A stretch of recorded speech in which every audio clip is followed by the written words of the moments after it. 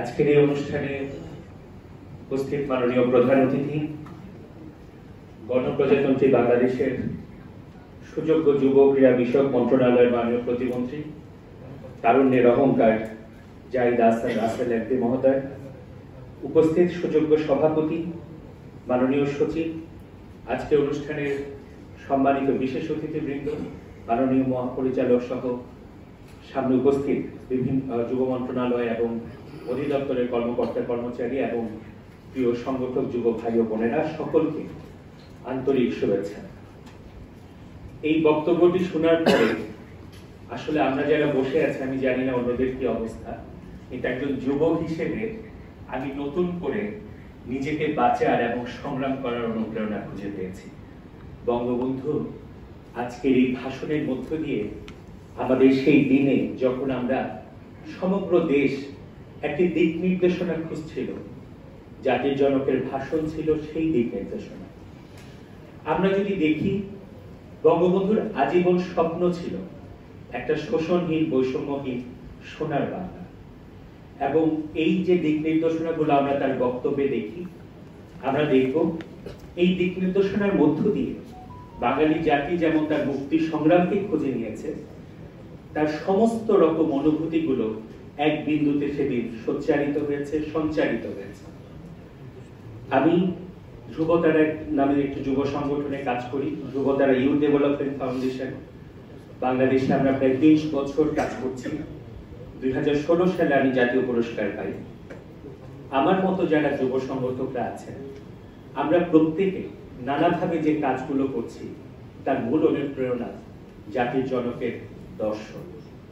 জাতির জনক বঙ্গবন্ধুর ভাষণের পাশাপাশি আমরা যদি সেই সময়কার সকল বিশ্ব নেতাদের কথা শুনি, সেই সময়কার গণমাধ্যমের প্রতিবেদন দেখি, আপনারা দেখতে পাবেন যে এই ভাষণকে কেন্দ্র করে সারা পৃথিবীর নেতাদের কি পরিমাণ আগ্রহের জায়গা ছিল।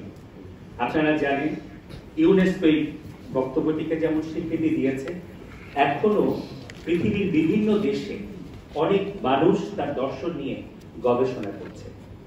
আমরা যারা অসমাপ্ত আত্মজীবনী পড়েছি, আমাদের সকল ভালো কাজগুলো আমরা যারা করি, তার শিক্ষা আমরা সেখান থেকে পেতে পারি। একটা মানুষ সারাটা জীবন জেলে কাটিয়েছেন, সারাটা জীবন মানুষের জন্য কাজ করেছেন। আপনারা একবার চিন্তা করে দেখেন, যে সময়টুকু তিনি পেয়েছেন, সেখানে তিন বছরের যে শাসনকাল বা চার বছরের আপনি যদি সেটা একটু চিন্তা করে দেখেন, সেই সময় তিনি সমুদ্র সীমার কথা চিন্তা করেছেন, মহাকাশ বিজ্ঞানের কথা চিন্তা করেছেন, প্রশিক্ষিত যুব সমাজের কথা চিন্তা করেছেন, শিক্ষা দর্শনের কথা চিন্তা করেছেন। আমাদের দুর্ভাগ্য, আমরা তাকে ধরে রাখতে পারি। আজকে আমরা নতুন একটি মুক্তির সংগ্রামের মধ্যে আছি। অর্থনৈতিক মুক্তি, শোষণহীন, বৈষম্যহীন, সোনার বাংলা করা যেটা বঙ্গবন্ধু চেয়েছিলেন। মাননীয় সভাপতি, আমি সবসময় একটি কথা বলি একজন সংগঠক হিসেবে, যে যুব উন্নয়ন অধিদপ্তর যে অক্লান্ত পরিশ্রম করছে সারা দেশে, তার পাশাপাশি আমাদের তরুণ সংগঠনগুলো যে ভালো কাজ করছে, তা বঙ্গবন্ধুর প্রতি এক একটি শ্রদ্ধা আমি এক মিনিট একটু সময় নিতে চাই। বঙ্গবন্ধুর যে আদর্শ, তার পাশাপাশি আমরা যদি মহান মুক্তিযুদ্ধের চেতনা নিই, সেখানে আমরা দেখব যে অসাম্প্রদায়িক বাংলাদেশ বিজ্ঞান ভিত্তিক সমাজ, শোষণহীন একটা সমাজের স্বপ্ন বারবার এসছে। আমাদের সংগঠন ধ্রুবতারা, সম্প্রতি আমরা সারা বাংলাদেশের এক হাজার তৃণমূলের সংগঠনকে এক মঞ্চে নিয়ে এসেছি। আমরা তাদেরকে প্রশিক্ষিত করছি বাহাত্তরের সংবিধানের উপরে।